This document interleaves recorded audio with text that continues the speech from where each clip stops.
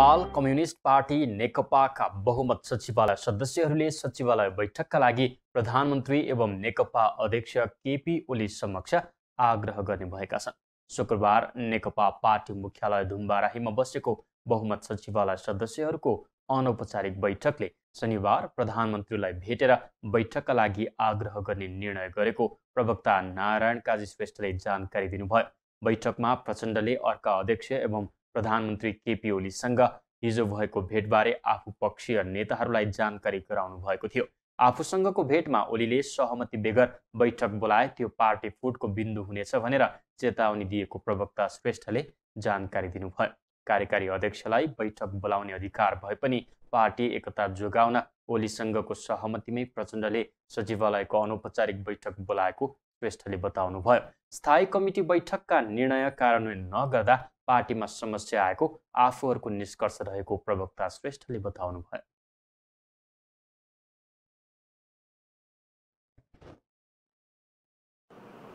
अहिलेको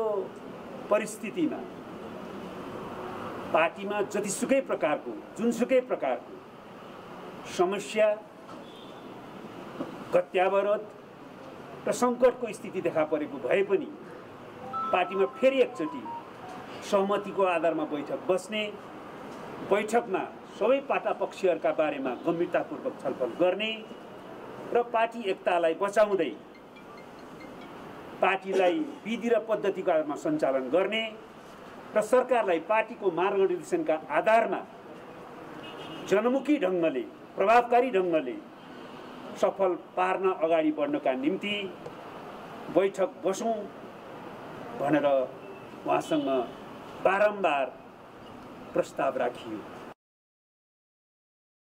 भेलामा सहभागी अधिकांशले स्थायी कमिटी बैठकमा निर्णय कार्यान्वयन नगर्दा समस्या आएको भन्दै ओलीलाई भेटेरै बैठक राख्न आग्रह गर्ने सुझाव प्रचण्डलाई दिएका थिए नौ सदस्यीय सचिवालयमध्ये शुक्रबारको बैठकमा पाँच सदस्य सहभागी थिए बैठकमा प्रधानमन्त्री केपी ओली उप प्रधानमन्त्री ईश्वर पोखरेल गृहमन्त्री रामबहादुर थापा र महासचिव विष्णु पौडेल सहभागी हुनु भएन भने कार्यकारी अध्यक्ष प्रचण्ड वरिष्ठ नेताहरू माधव कुमार नेपाल झलनाथ खनाल उपाध्यक्ष वामदेव गौतम र प्रवक्ता श्रेष्ठ सहभागी हुनुहुन्थ्यो।